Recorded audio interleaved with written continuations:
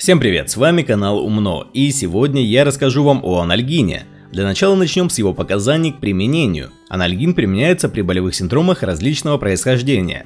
Головная, зубная боль, невралгия, радикулит, миалгия, боль во время менструации – также применяется как вспомогательное средство для уменьшения боли после хирургических и диагностических вмешательств и при гипертермическом синдроме во время инфекционно-воспалительных заболеваний. Его основными противопоказаниями являются известная или подозреваемая гиперчувствительность к метамизола натриевой соли и к другим компонентам препарата производным пирозолона, таким как бутадион, трибузон, антиперин. Также к противопоказаниям относятся подозрения на острую хирургическую патологию, анемия любой этиологии, цитостатическая или инфекционная нейтропения, изменение сустава периферической крови, агранулоцитоз, лейкопения, выраженное нарушение функции печени или почек, а также бронхиальная астма. Теперь поговорим о способах применения. Взрослым и подросткам 14 лет назначают по 1-2 таблетке или по 1 целой таблетке 1-2 раза в сутки. Таблетки нужно принимать после еды, запивая небольшим количеством воды.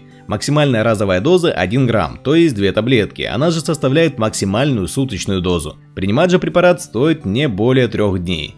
Также этот препарат, как и все лекарства, имеет побочное действие. Это аллергические реакции, кожная сыпь, отек квинки, редко анафилактический шок. Со стороны системы кроветворения редко при длительном применении лейкопения и агранулоцитоз. Со стороны мочевыделительной системы транзиторная аллегурия, анурия, протеинурия, интерстициальный нефрит и красный цвет мочи.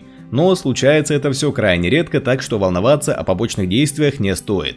В среднем на всех сайтах этот препарат имеет оценку 4,7 из 5 баллов, и большинство людей рекомендуют его как отличное средство от головной боли и повышенной температуры. Ну а на этом все, если это видео было полезным для вас, не забудьте поставить лайк и подписаться на канал. До свидания.